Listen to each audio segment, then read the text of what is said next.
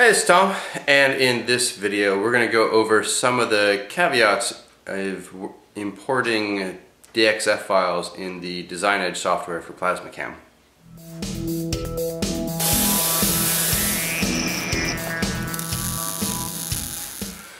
Alright, so as you guys have heard me say over and over, uh, one of the best parts about the PlasmaCam system is the Design Edge software. That software makes the drawing, the cut paths, everything's so drop dead simple that you can really just focus on what you're trying to get done and not have to be an expert in CAD or G-code or, or, things of that nature. Uh, it's one of the things that, that originally drew me to using this tool because I didn't have any experience with that kind of thing. Um, over the years, I've gotten a whole lot better with it. I've you know, really dove into CAD and things like that. But Design Edge is still my go-to for those you know down and dirty imports. You know, just just somebody comes to me with a project. Hey, here's this picture. Can you get this done? And I come in, you know, scan it, import it, cut it, out the door. Right? Gravy work, and it's great. You know, great way to do this. But sometimes we get into these issues where it's a little more complicated. Um, I ran into this myself, and uh, another viewer and friend, uh, Nick, uh, reached out to me uh, via email the other day, and I haven't had a chance to call him back to go over what his problem was, and I realized, hey, why not just make this a video because it could probably help other people as well. So let's take a look at what it looks like when you import a DXF file. If you guys don't know what that is, it's the drawing, I think I want to say it's called the design exchange format or drawing exchange format. It's an old AutoCAD format for taking 2D images or 2D drawings and being able to exchange it. So put it between different kinds of programs, right? So DXF is a very common format for two-dimensional drawings. Um, and uh, but and most times it works great, depending on how it was done.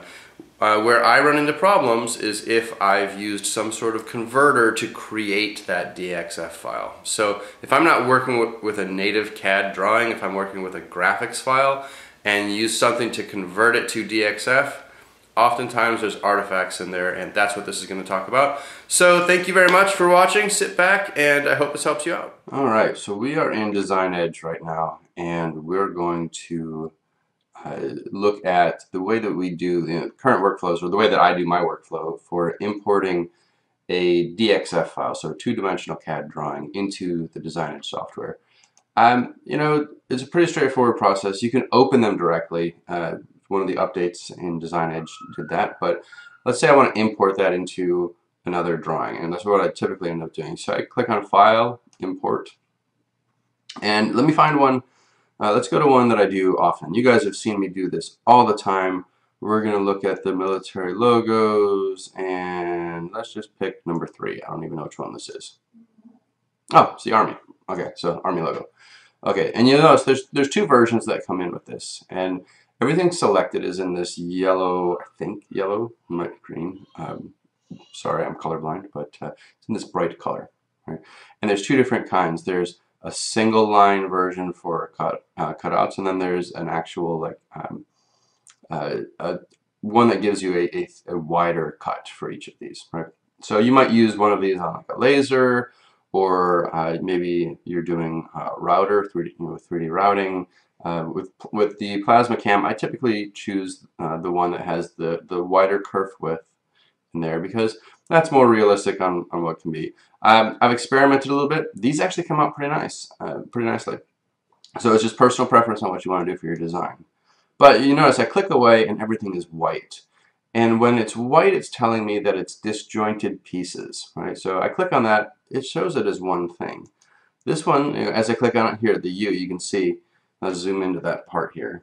You'll see that portions of this, as I click, are segments, right? So in the design, or in the DXF file, each one of those is showing up as a segment, right? So uh, let's let's zoom, whoops, let's zoom back out to our whole thing. And what I typically do when I start is I just select the whole thing, and I press the J button or the join command, which is the same as this button right up here called link, right? I press it, and when I click away, you'll see it changed colors, right? This allows me to immediately go into working uh, on, on the on the part itself, right? Nothing special. I don't have to do anything else. I can just start, you know, start doing it. Um, and typically for like my military logos, and these are ones that I, I, I actually purchased when I first got the machine uh, to give me a little something to work with. Uh, this is typically what I do. I start there. I you know go to um, convert to cut path, and maybe I start here at the top, and it automatically convert holes. Yes, right? It does all the work for me, and I can click start and go. Right? I don't have to do anything else. Right? Really, really simple process. Um, but let's say that there's some gotchas in here, and this happens quite a bit to me uh, when I'm converting graphics files into DXF files and then importing them into uh, into the Design Edge software. And Nick, this is uh, um, uh, let's not change. Yeah. So Nick, this is the issue that, that you're running into. So I'm going to go ahead and import a logo. This is uh, one that I'm doing. Uh, you guys have seen some of my other videos that I've been working on for these guys. It's uh, uh, Sludge Coffee Roasters. And so I had a, a I had a JPEG of their their logo, and I used a an, just one of those free tools online to get a DXF file from that. And so when I import that, um, and you see it, it, came out really nicely. Actually, it looks it looks pretty good. Uh, but there's a couple of things that I noticed right away. The first, see this little itty bitty thing down here? That's the table size. So this, from a size perspective, is very, very large. I'd want to rescale this. For this tutorial, not really necessary. You guys know how to do scaling. It's pretty straightforward. Select it, do the scale button, and then adjust your size either visually or by typing in a number, right? What I'm more focused on right now are two things.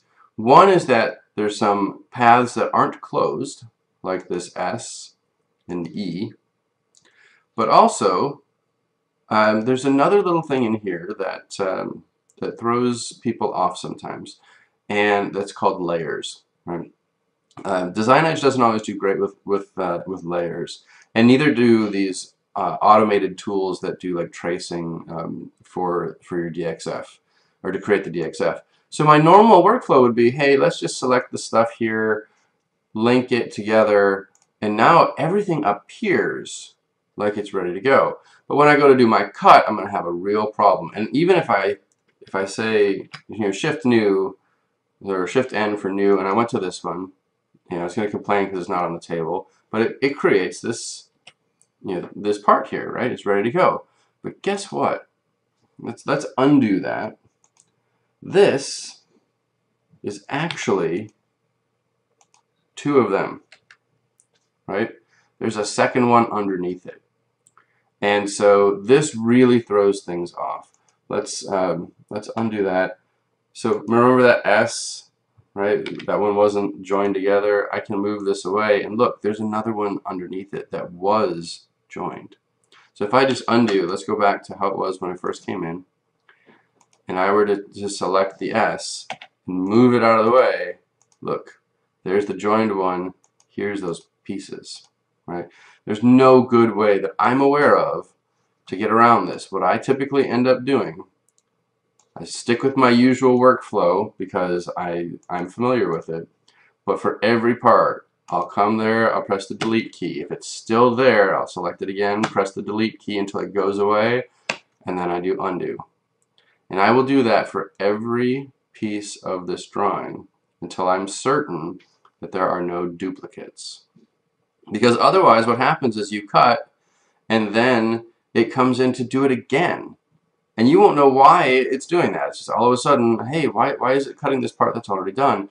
And we're still, if that drop is the part that you're keeping, and it's shifted it all because it's fallen into the grates a little bit or whatever, you could ruin your part, right? So this is one of the things, especially when I'm working with files that I didn't create or files that I have been imported, I always do this. And in this case, um, this one, I used a free file uh, conversion that I had to actually go in. I used uh, um, Fusion 360 after I did the conversion to clean up all the junk that they had added into it.